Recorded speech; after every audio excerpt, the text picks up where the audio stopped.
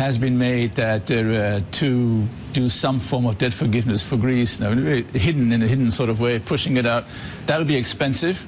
It'll probably be as much as 5,000 euros per every woman, man, and child in, in the rest of Europe, but it will be done.